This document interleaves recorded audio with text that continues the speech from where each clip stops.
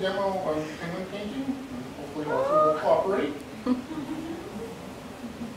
If Arthur doesn't cooperate, um, I'm not sure what we're gonna do. Because we have kings on eggs sitting